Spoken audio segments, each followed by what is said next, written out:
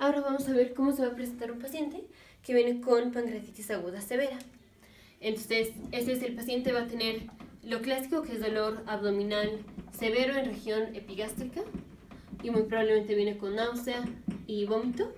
Ahora este es vómito sin sangre.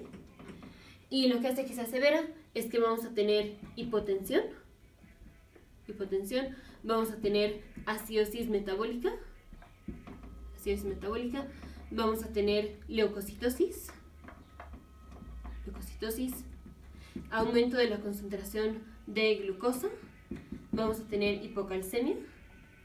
La hipocalcemia se va a dar en parte porque tenemos mala absorción de grasa y porque tenemos la saponificación, que ya en videos anteriores vimos cómo se da esto.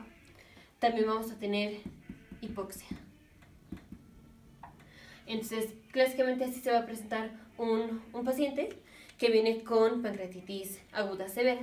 Entonces, hipotensión, acidez metabólica, leucocitosis, aumento de glucosa, hipocalcemia. La concentración normal de calcio es de 8.5 a 10 mil equivalentes por litro. Entonces va a ser menos de 8.5 mil equivalentes por litro la concentración de calcio.